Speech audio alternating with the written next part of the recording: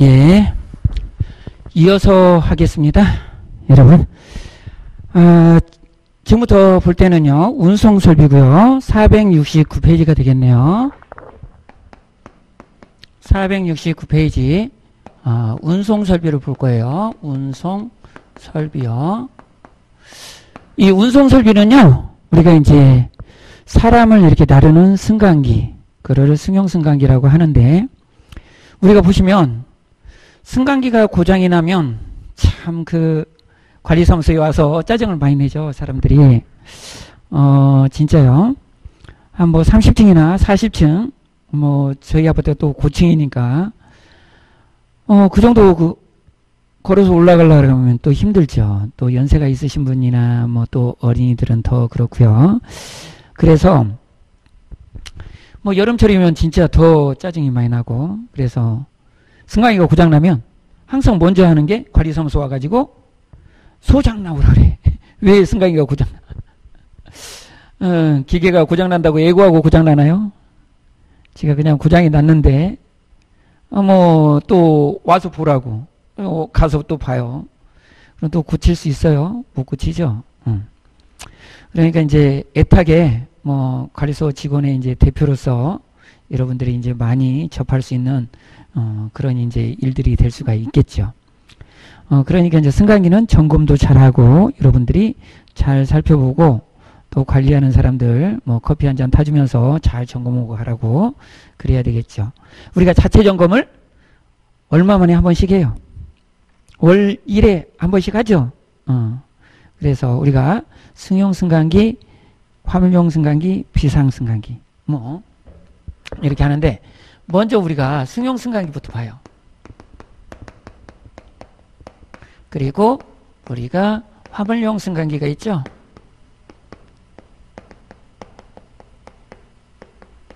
그리고 비상용 승강기가 있어요.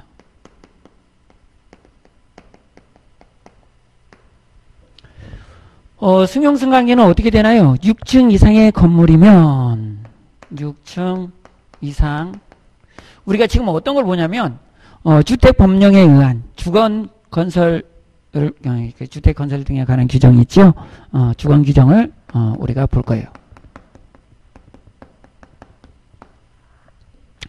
6층 이상의 건축물이면 우리가 어떻게 한다고요? 6인승 이상의 승강기를 설치해야 된다. 6층 이상의 건물에서는 6, 6인 이상이 어, 운영될 수 있는 승용 승강기를 설치해야 된다. 이렇게 보고 있고요. 우리가 이제 화물용 승강기는 우리가 10층 이상이면 설치를 해야 돼요. 그리고 이 비상용 승강기도 10층 이상이면 어, 우리가 설치를 해야 한다. 이렇게 보시면 되겠어요. 어, 이 화물용 승강기는 우리가 어, 이 용량이 그리고 중량을 어, 중량을 0.9톤 이상 이렇게 실을 수 있는 용량으로 해야 되고요. 그 크기 넓이 음, 넓이는 1.35 메타 곱하기 1.6 음, 메타는 되어야 된다. 이렇게 보시면 되겠네요. 이게 이제 우리가 그렇게 봐야 되는 것이고요. 그 다음에 우리가 더 봐야 되는 것이 어, 이게 있어요. 어, 여기에서 이렇게 보시면 어, 승용승강기는 우리가 보시면 어, 떻게 나눌 수가 있냐면 이 승용승강기는 우리가 계단실형하고 복도형으로 나눌 수가 있어요.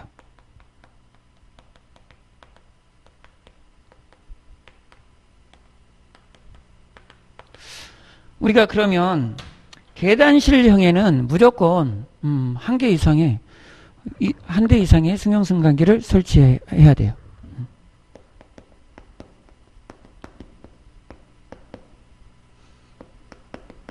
승강기를 설치해야 돼요. 이게 기본이에요. 그리고 우리가 22층이다. 그리고 한 층에서 어, 한 층에서 한 층에 해당 층에 한 층에 우리가 세 세대 이상이 거주를 해요. 그러면 세 세대 통로가 있잖아요. 그러면 얼마 이게 22층이 넘는 어, 건축물이다. 그러면 거기에 한 대를 추가 설치해요.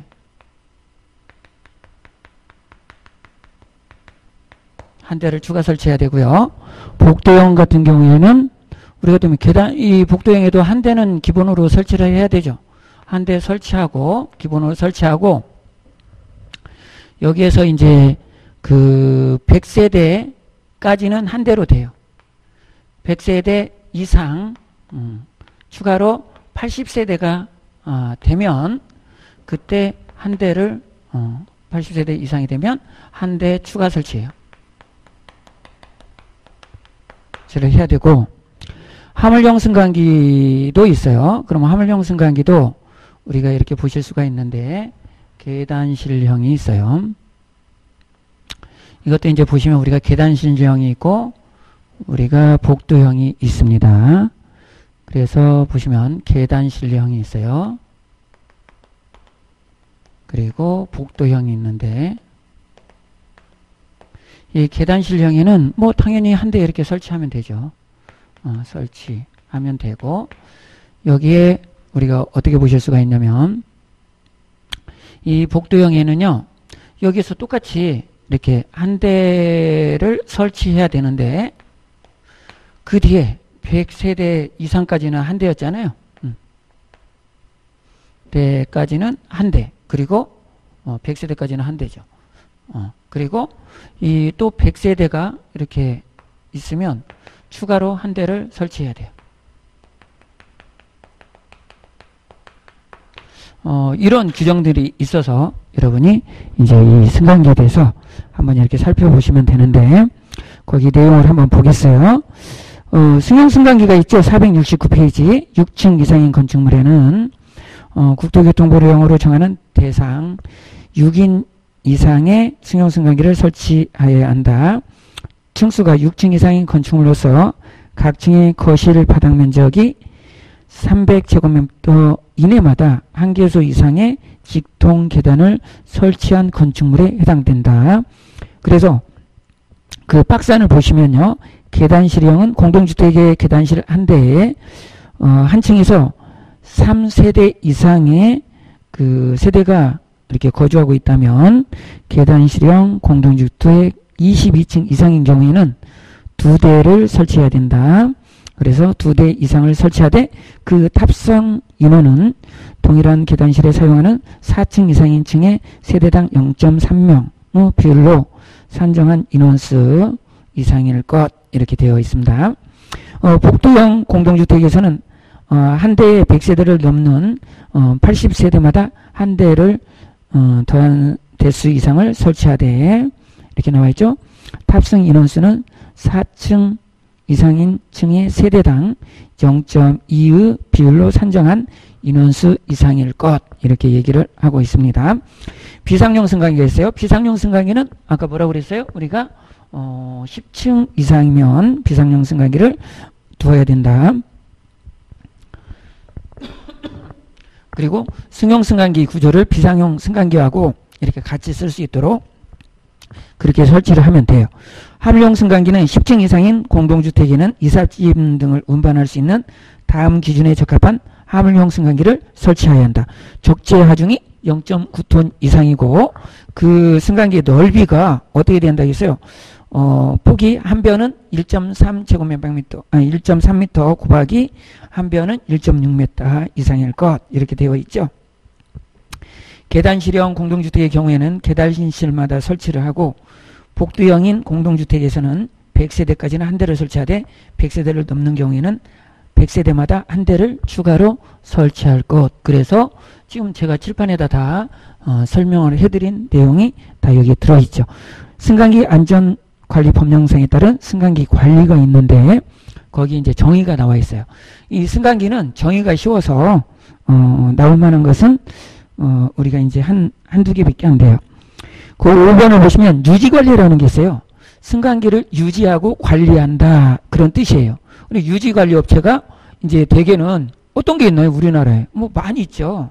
뭐 이제 뭐 뭐 현대도 있고 뭐 누구 뭐 LG도 있고 뭐 막 있겠죠.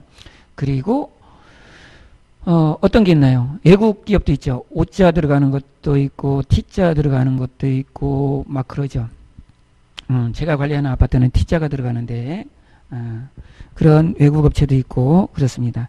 그런 유지 관리 업체에서 어떤 일을 하느냐 그런 거예요.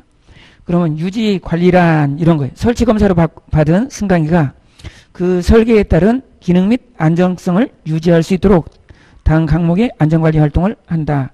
주기적인 점검, 그리고 승강기 또는 승강기 부품 수리, 승강기 부품의 교체, 어, 그 밖에 행, 행정안전부 장관이 승강기의 기능 및 안정성 유지를 위하여 필요하다고 인정하여 고시하는 안전관리 활동입니다.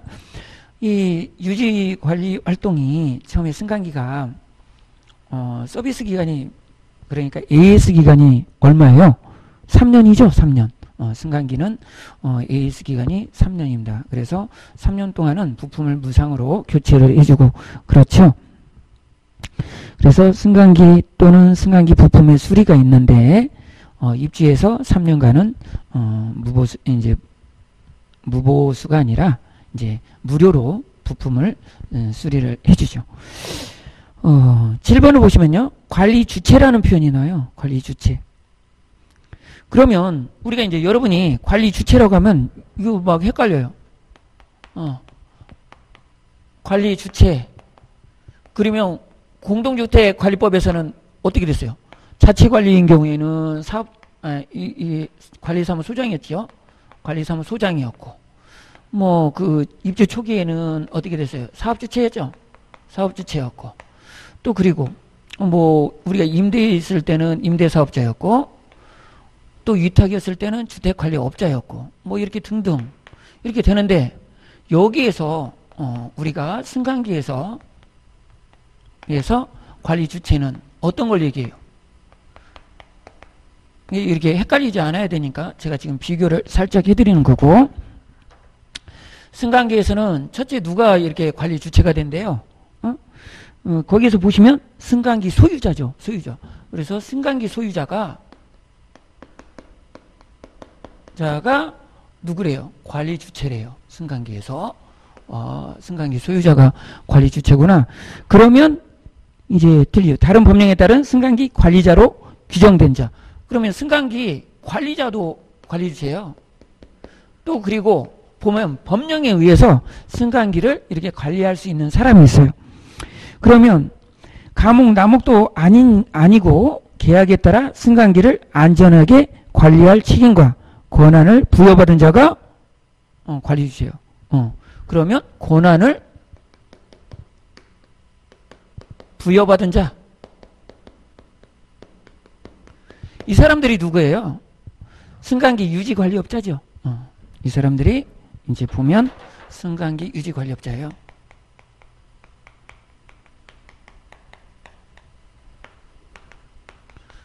그러면 우리가 이렇게 승강기를 이 사람들이 지식이 있어서 관리할 수 있나요? 되게 관리가 안 돼요. 그러니까 이 사람들이 관리 주체가 되기가 쉽지가 않죠. 이 사람들한테 위임을 한단 말이에요. 그러면 승강기 유지 관리업자가 어, 되게 관리 주체가 되어서 이렇게 일을 하지요. 음? 그러니까 자체 점검도 이 승강기 유지 관리업자가 하는 거죠. 자체 점검하면 자체 점검은 월 몇 회예요? 어떻게 해요? 이거는. 그러면 월 1회 이상이죠. 어. 월 1회 이상 자체 점검을 합니다. 그것도 승강기 유지관리업자가 그러니까 관리 주체가 하는 것이죠. 음, 자체 관리를. 그러면 이 자체 자체 점검을 했다. 그러면 이제 이것도 승강기 안전 종합망에 어, 등록을 해야 돼요. 그래서 5일 이내에 합니다. 그것도 이제 우리가 어떤 걸 볼 수가 있냐면 승강기를 우리가 이제 설치를 했다면 사후 관리를 해야 돼요. 그러면 이제 승강기 그 관리 업체에서 이 부품을 내줘야 되잖아요. 그럼 만약에 관리를 하는 유지 관리 업체가 자기 뭐 T자 들어가는 업체에서 했다면 뭐 또 O자 들어가는 업체에서 수주를 받아서 할 수도 있고 어? 뭐 그렇게 바꿔서 할 수도 있단 말이에요. 그러면 그런 업체들이 승강기 관리를 한다. 그래서 어 부품을 요구했는데 부품을 안 줘요. 야 그거는 우리 연결된 하청만 줄 거야. 뭐 이렇게 한다고 그러면 안 되잖아요. 그럼 관리를. 그러니까 2일 이내에는 부품을 내줘야 된다. 이렇게 2일 이것도 시험에 나온 적이 있어요. 그리고 또 뭐냐면 그리고 승강기 부품을 보유하고 있어야 되잖아요. 이 업체가 야 승강기 그 기종 없어졌어. 어, 부품 우리 없어. 이렇게 하면 어떻게 완전히 그 날벼락에 하늘 쳐다봐야죠. 승강기 그 비싼 거를 우리가 뭐 20억 들여서 승강기를 그냥 뭐 열몇 대에 설치를 해놓고 그랬는데 지금 와서 무슨 소리를 하고 있어 이렇게 되는 거죠. 그러니까 10년은 부품을 보유하고 있어야 된다. 어, 그런 거예요. 그래서 우리가 거기도 보면 471페이지를 보시면 거기에서 우리가 그 보시면요. 네 번째 줄에 1번에 다섯 번째 줄 양도한 날부터 10년 이상 제공할 수 있도록 해야 한다. 이렇게 되어 있습니다. 그래서 그 10년도 봐주셔야 되고요. 어, 제조 수입업자는 2번을 보시면 승강기 또는 승강기 부품을 판매하거나 양도할 때에는 그 구매인 양수인에게 단 각고의 자료를 제공해야 한다. 그렇게 나와 있는데 그거는 얼마 이내에 이렇게 제공을 해줘야 된다고요? 2일 이내에 제공을 해줘야 된다. 그리고 3번을 보시면요. 품질 보증 기간이 있어요. 품질 보증 기간은 3년 이상으로 하며 그래서 제가 AS 기간이 얼마라고 그랬어요? 어, 품질 보증 기간 보증 기간 음, 품질 품질 보증 기간은 3년 3년 3년 3년 이상으로 한다. 이렇게 보시면 되겠네요. 그리고 넘어가서 보시면요. 우리가 어디를 보실 거냐면 여러분이 이제 중요한 474페이지를 보실 거예요. 그러면 안전검사에 대해서 이렇게 나오고 있습니다. 안전검사. 우리가 이제 설치검사를 하고 나면 승강기에 안전검사를 해야 돼요. 안전검사. 어, 승강기 안전검사가 있는데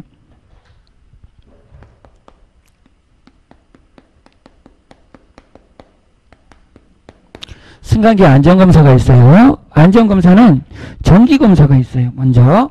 그래서 정기검사가 있고요. 그 다음에 무슨 검사가 있냐면 수시검사가 있어요. 그 다음에 어떤 검사가 있냐면 정밀 검사가 있네요.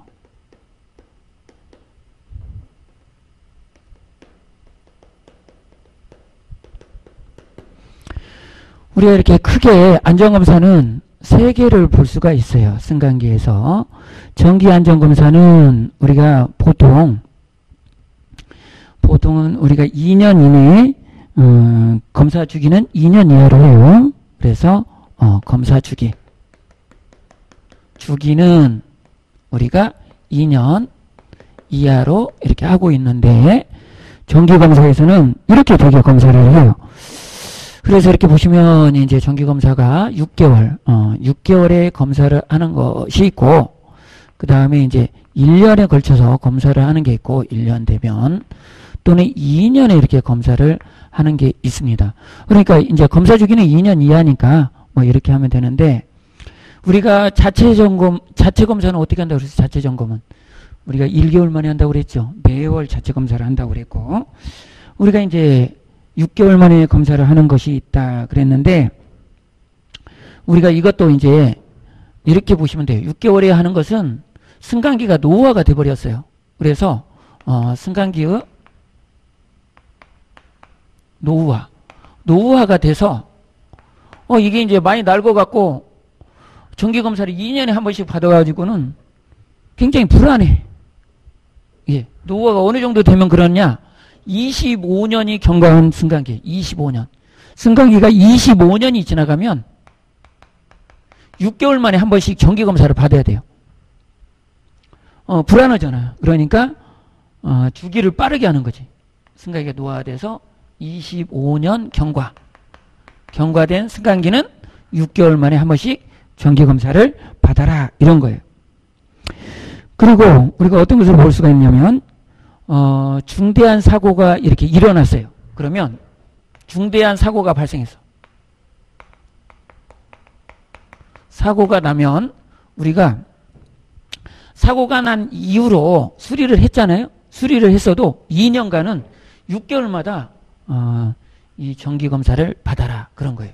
어, 그러니까 2년간은 정기적 검사를 받아라 이렇게 되는 거고 우리가 이제 1년이 있어요. 1년. 1년은 일반적으로 이제 1년이면 이렇게 일반적으로 검사를 이렇게 받고 있어요. 그런데 2년마다 이렇게 이제 또 받을 수가 있는데 이런 것은 우리가 단독주택 같은 경우에는 완화를 해줘야 되잖아요. 그래서 단독주택 그 경우 얘는 이렇게 완화를 해주고요. 또 그 다음에 화물용이 있어요. 화물용. 화물용은 어, 완화를 해준다. 완화를 해서 어, 2년에 한 번씩 정기검사를 받아도 된다. 이렇게 보시면 되겠네요. 그리고 이제 수시검사는, 수시검사는 어떤 게 있냐면, 어, 이제 우리가 부품을 교체한 경우가 있어요. 이제 중요 부품 같은 것을 우리가 교체한 경우. 얘는 수시검사를 받아라. 이렇게 수시검사는 4개로 이렇게 볼 수가 있는데, 우리가 관리 주체가 이제 요구를 했어요. 관리 주체가 어, 우리 검사 한번 해주세요. 검사 요구. 요구를 하면 그때는 수시 검사를 이렇게 해주겠다. 어, 이런 거죠. 어. 그리고 또 이 뭐 같은 것을 변경한 경우가 있어요. 뭐 수치를 크게 변경했거나 뭐 운행 시간이라든지 뭐 이런 거 기타 등등 어, 거기에서 이제 어, 필요한 것을 변경한 경우가 있어요. 제어 방식이라든지 운영 방식이라든지 이런 것을 변경한 경우에는 음, 우리가 수시 검사를 받아야 한다. 그리고 수리한 경우요. 어, 소소한 수리 말고 조금 이제 크게 수리를 했잖아요. 그런 경우에는 수시 검사를 받아야 한다. 이렇게 보시면 되겠네요. 정밀 안전 검사를 이렇게 보시면요. 정밀 안전 검사에서는 우리가 어떤 거냐면 이 정기 검사나 수시 검사를 했어요. 그래서 정기 검사 또는 수시 검사를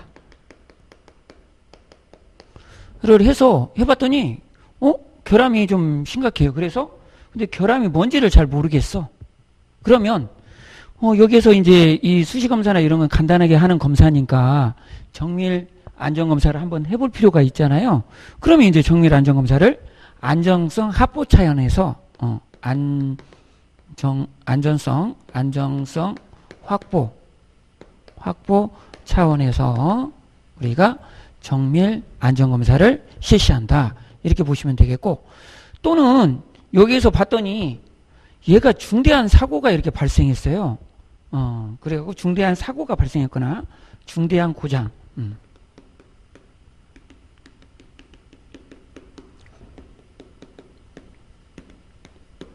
고장이 발생을 했을 경우에는 우리가 정밀 안전검사를 해요.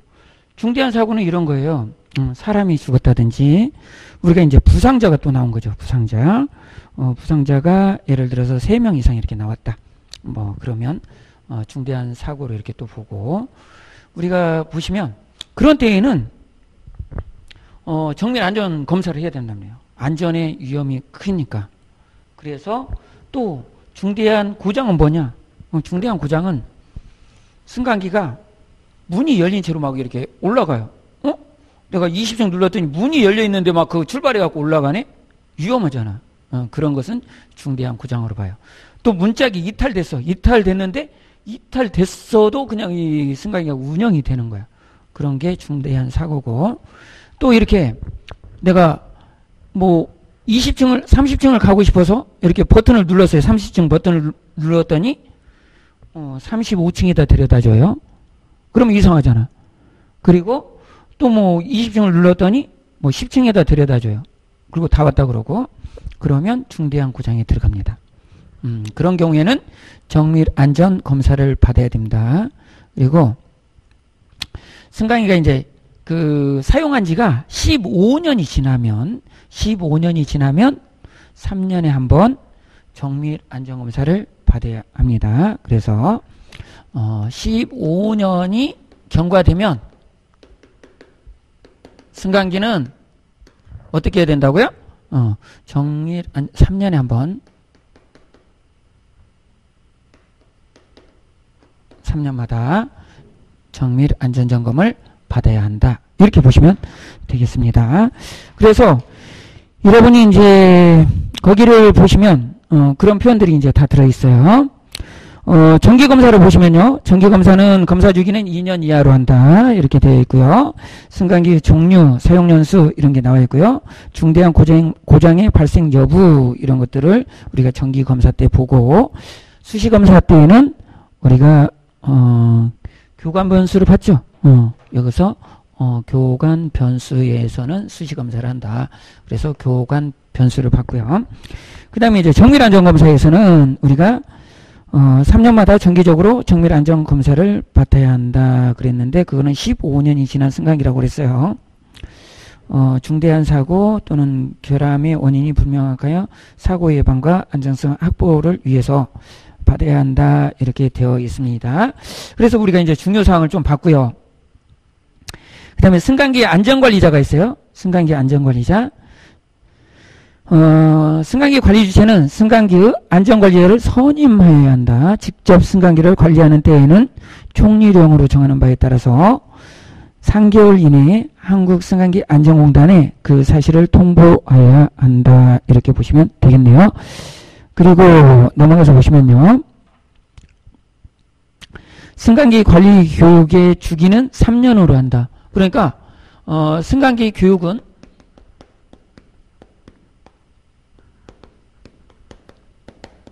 (3년마다) 어, 어, 받아야 해요. (3년마다) 어, 받아야 한다. 이렇게 보시면 되겠네요. 그리고 중대한 사고가 나와 있어요. 중대한 사고. 어, 478페이지인데 사람이 예, 죽거나 다치는 등의 중대한 사고, 사망자가 발생한 사고, 중대한 사고고요. 사고 발생일로부터 7일 이내에 일주 이상 입원한 어, 입원 치료가 필요한 부상자가 발생한 사고고, 사고 발생 7일 이내에 어, 최초 진단 결과 3주 이상의 치료 치료가 필요한 부상자가 발생한 사고, 이런 때에는 중대한 사고로 보고 있습니다. 중대한 고장이 있어요. 중대한 고장은 아, 출입문이 열린 상태로 움직인 경우 그런 경우가 있고 출입문이 이탈되거나 파손되어 어, 운행되지 않는 경우도 어, 중대한 사고가 되고요.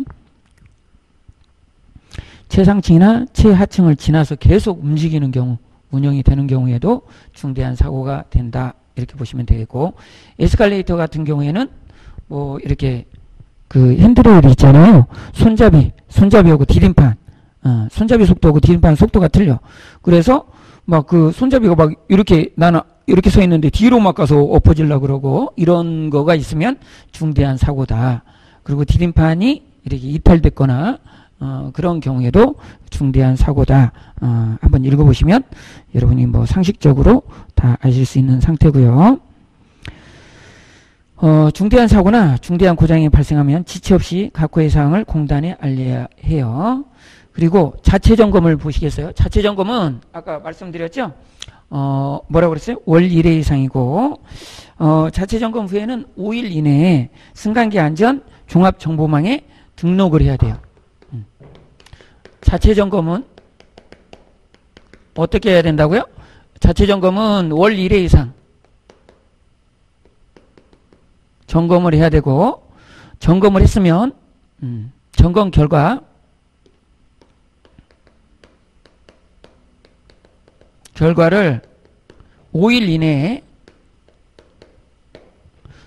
승강기 안전 종합 정보망에 등록을 해야 돼요. 그러니까 이 승강기 안전 종합정보망을 여러분이 혹시 주관식으로 써넣어라. 그러면 여러분이 써놓을 수 있을 정도가 돼야 돼요. 어. 승강기 안전 종합 정보망에 등록해야 한다. 그래서 입력을 해야 한다. 그 내용을 이렇게 보시면서 여기까지 해서 어, 우리가 운송 설비를 어, 마치겠습니다. 여러분 이어서 보도록 하겠습니다. 여러분 수고하셨습니다. 음.